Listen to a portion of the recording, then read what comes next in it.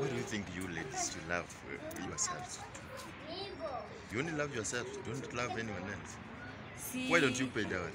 si tuliumbwa hivyo na Mungu tujipende kwanza. Ndio?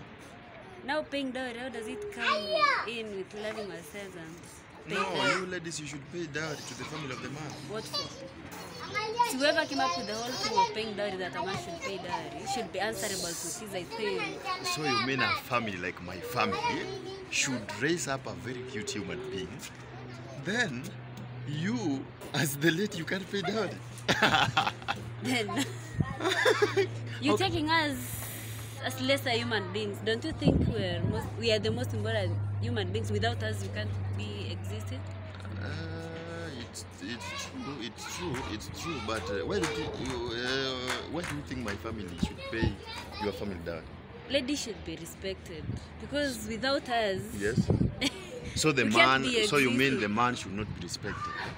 you should be respected at the same time because it's a two-way thing. Without you as, as well, they can't be existing. Thank So the issue of paying dowry, Uh, yes. mm, I think both families should participate. I To don't me. think. So me as the chairman, I'm the advocate of the Cute Boys Association. eh?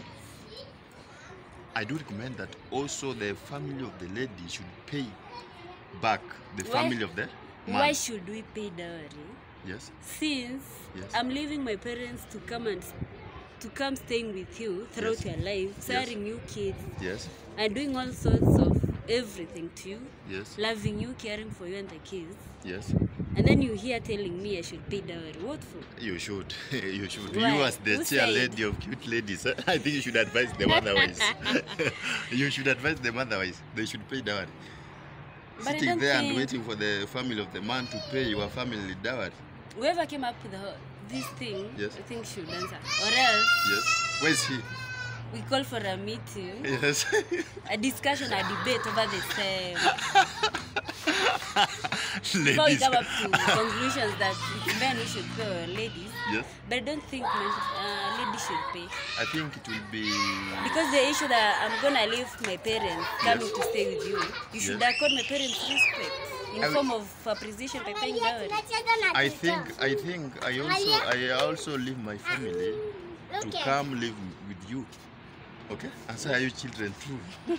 so I think we can't measure on the uh, of children and all that. We should be fair to the family of the man and pay back dowry as men do. As men do.